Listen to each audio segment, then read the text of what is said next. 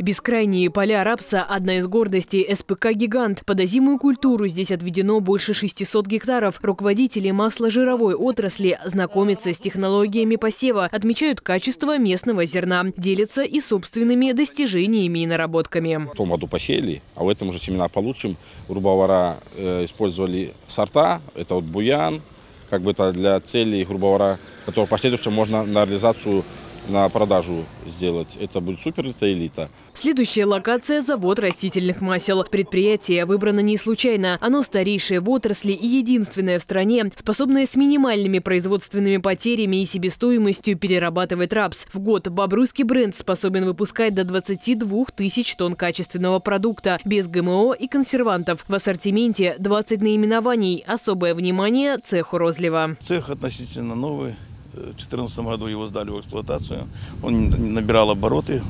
Практически только теперь мы вышли на проектную мощность этого цеха.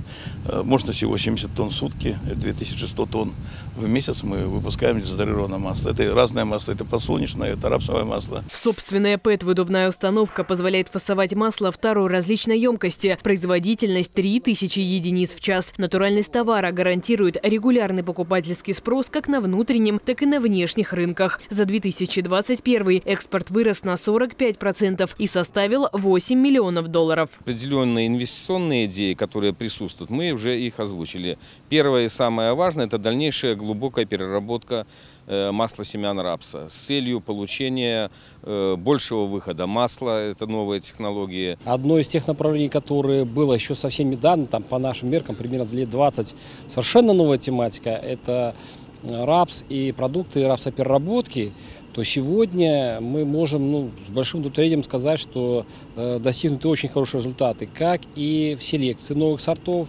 Сегодня примерно более 70% э, рапса это, это белорусские сорта. После знакомства с производством переходит к обсуждению. Основная тема встречи руководителей предприятий и представителей Белгоспищепрома – развитие масложировой отрасли и импортозамещение продукции. Задача на перспективу – создать ресурс для различных сфер – от фастфуда до кондитерской. Карина Гуревич, Дмитрий Шевцов, Бобруйск, 360.